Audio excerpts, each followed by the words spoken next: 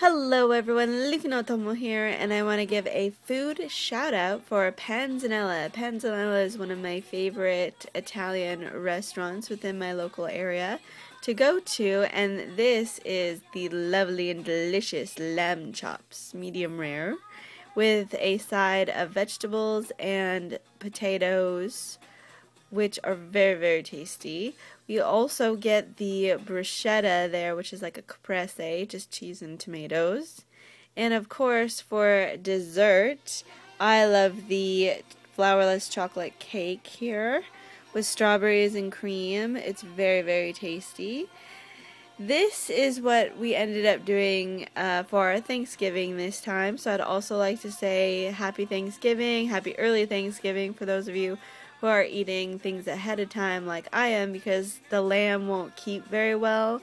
My family got involtinis, which is an eggplant and pasta dish, so they're going to wait for tomorrow to have it, but my lamb probably won't last very well till the next evening. So I'm just going to have all this stuff tonight.